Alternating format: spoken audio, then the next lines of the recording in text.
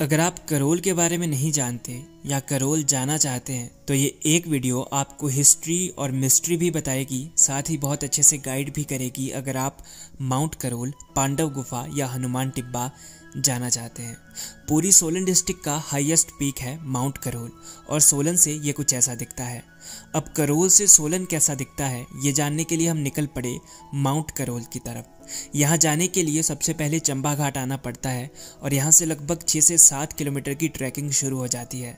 चंबा घाट bus stop के पीछे से ही ऊपर की तरफ़ रोड जाता है। ऊपर आपने आ जाना है और गुरुद्वारे के साथ से ही ऊपर की तरफ़ बढ़ते जाना है।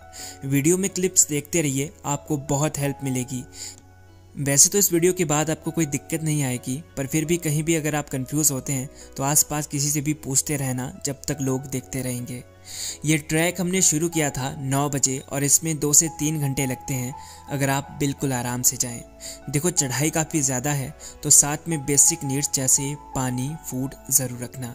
ज़्यादा ठंड के टाइम पर जा रहे हो तो लाइटर ताकि आप बॉन फायर कर सकें। साथ ही एक टॉर्च अपने साथ ज़रूर ले जाएँ, चाहे आप दिन को जा रहे हैं या रात को। ऐसा क्यों? आगे बताऊँगा।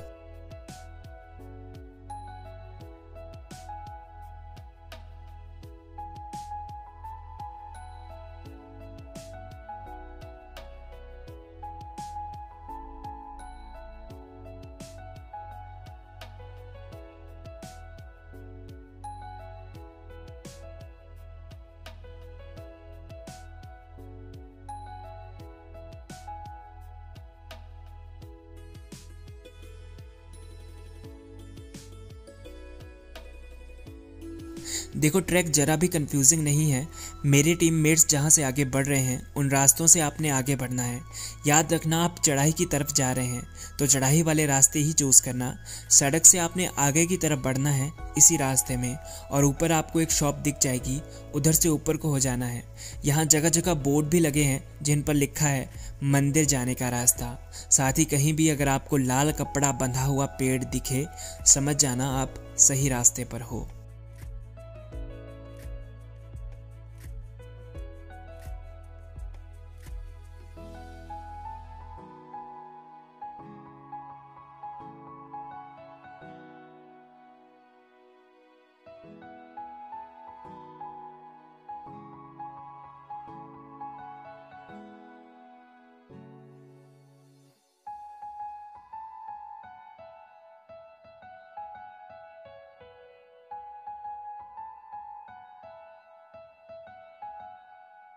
जैसे जैसे आप ऊपर जाते जाएँगे व्यूज़ और खूबसूरत होते जाएँगे।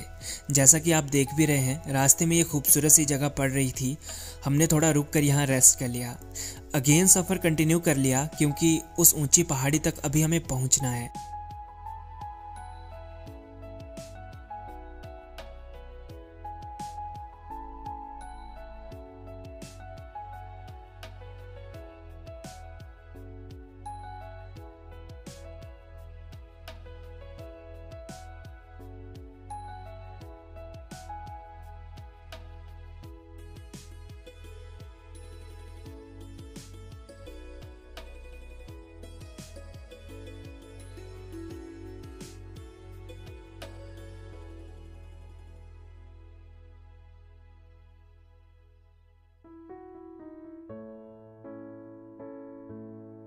यहाँ फिर से रास्ते में एक मैदान जैसा आया, यहाँ लोग कैंपिंग करते हैं और यही सबसे बेस्ट जगह है कैंपिंग के लिए। मेन रास्ते से थोड़ा मुड़कर हम ऊपर की तरफ़ गए, खूबसूरत व्यूज़ देखे और फिर से मुड़ आए मेन रास्ते पर। अब थोड़ी आगे आने पर यहाँ आपको एक तालाब भी दिखेगा। यहाँ से आगे की तरफ़ आपने बढ़ना है और यहाँ से शुरू हो जाता है जंगल। आप जब भी जा रहे होंगे, इस वीडियो को देखते रहना ताकि कंफर्म होता रहे नेटवर्क की कोई दिक्कत नहीं है। पूरी पहाड़ी पर आपको नेटवर्क मिल जाएगा। यहाँ लोग आते जाते रहते हैं। ये सुनसान जगह बिल्कुल भी नहीं तो डरने की भी कोई बात नहीं। ऊपर की तरफ़ बढ़ते जाना है। थोड़ा लंबा ट्रैक है, पर बेहतरीन है और वर्थ है।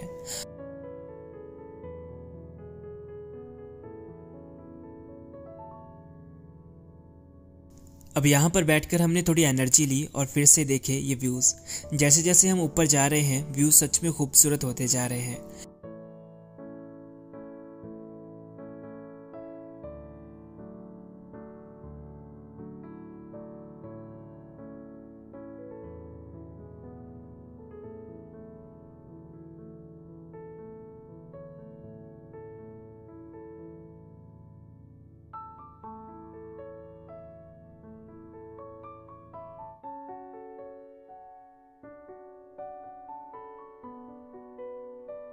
एट दी एंड अब हम मंदिर के नज़दीक पहुँच चुके हैं। यहाँ से तीन रास्ते जाते हैं, मंदिर, गुफा और हनुमान टिब्बा के लिए। जब हनुमान टिब्बा जाना होगा तो वापस यहीं आना है, याद रखना। फ़िलहाल मंदिर चलकर दर्शन करते हैं।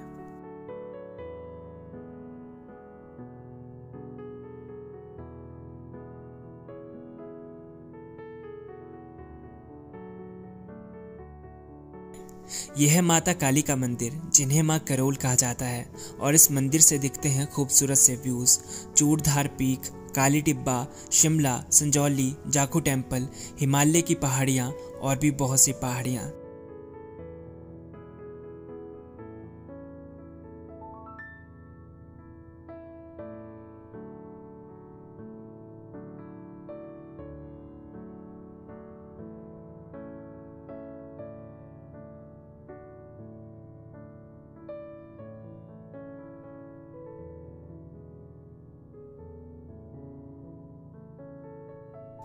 मंदिर के दर्शन करने के बाद आपने बैक साइड आ जाना है।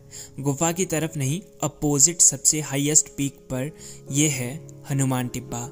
यहाँ कहा जाता है कि हनुमान जी ने पैर रखा था जब संजीवनी बूटी लेकर आए थे। यहाँ संजीवनी बूटी अभी भी है, ऐसा भी कहा जाता है। बस उसकी पहचान अभी तक नहीं हो पाई है।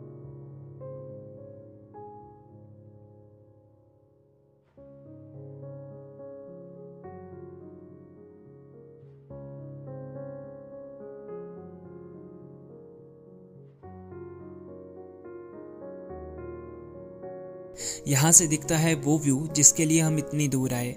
यहाँ हमने खाई मैगी और चल दिए पांडव गुफा की तरफ़।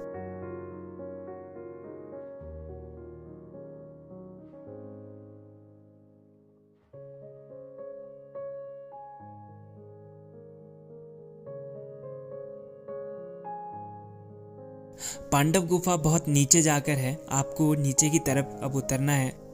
और वहीं से शॉर्ट रास्ता है, वापस पुराने रास्ते में मिल जाएगा और आप सोलन पहुँच जाएँगे।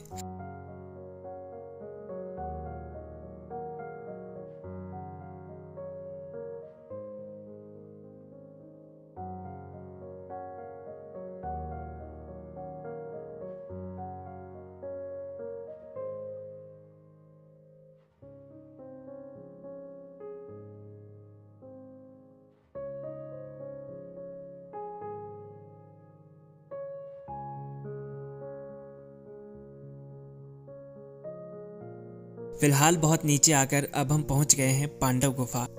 ये गुफा लोगों के घर के साथ है। बाहर राधा कृष्ण और शिव जी का मंदिर भी है। इस गुफा के बारे में कहा जाता है कि शिव जी ने भी यहाँ तपस्या की है। साथ ही पांडव भी वनवास के दौरान यहाँ रहे थे।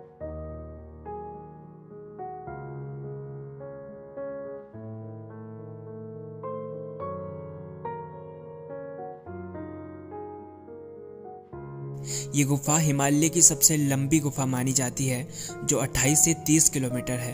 अब यहाँ आपको टॉर्च की ज़रूरत पड़ेगी ताकि आप इस गुफा को अच्छे से देख पाए। हम नहीं ले गए थे तो उतने अच्छे से कैप्चर नहीं कर पाए। अच्छा इस गुफा में एक बार रिसर्च के लिए रंगीन पानी डाला गया था, साथ ही कुछ पेड़ के पत्ते भी, जो पिंजौर जाकर निकले थे। कुछ लोग गुफा के करीब एक किलोमीटर अंदर तक भी गए हैं। अंदर जाते ही ये गुफा काफ़ी चौड़ी हो जाती है। इस दौरान शिवलिंग, शेषनाग जैसी आकृतियाँ गुफा के अंदर दिखने लगती है। गुफा के अंदर थोड़ी दूरी पर एक विशाल झील भी बनी हुई है। कहते हैं दो साधु इस गुफा का रहस्य जाने के लिए अंदर गए थे, लेकिन कभी वापस नहीं लौटे।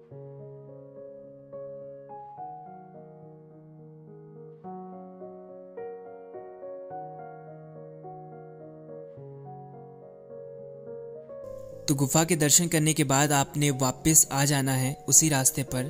सामने एक टैंक होगा, उसके ऊपर से रास्ता जाता है, जो वापस पहले वाले रास्ते में मिल जाता है, और आप पहुँच जाओगे वापस चंबा घाट तो कैसी लगी ये वीडियो? आई होप हेल्पफुल रही होगी। लाइक, कमेंट, शेयर, सब्सक्राइब करना बिल्कुल मत भूलिएगा।